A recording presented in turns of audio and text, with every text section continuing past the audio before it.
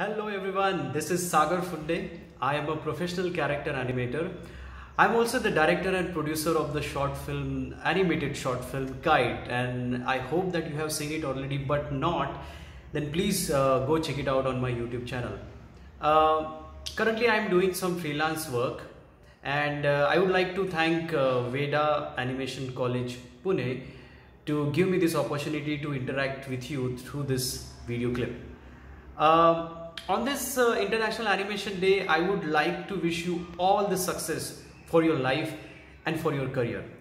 Well guys, this is going to be a very exciting time. So I would like to tell students to who are still learning in the field of animation that uh, keep learning and keep sharpening your skill and aim for that uh, best animation reel that will not only give you the give you your first opportunity but it will also launch you into the field of VFX and animation and it's going to be very exciting. And all the professional out there who are still looking for the opportunity i would say that guys you also still keep learning keep sharpening your skill and be ready with your amazing work.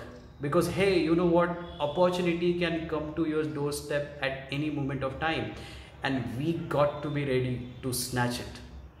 And you know reason i'm saying this also that because currently we are living in a situation where we do work from home and most of the people are staying inside. So a lot of streaming uh, streaming services and the animation studios are producing uh, many animated films and they are investing a lot into them. And in order to do that they are going to require the amazing artists like you. So that is why i said be ready with your work. The opportunity is coming so that's my message uh, for you guys. I hope it is uh, useful for you. And uh, i'm very thankful that i got a chance to interact with you uh, thanks to veda animation college pune for approaching me. It's uh, it's my pleasure to be uh, part of this entire montage. And yeah have a great time. Enjoy the international animation day. And i hope to see you guys somewhere soon.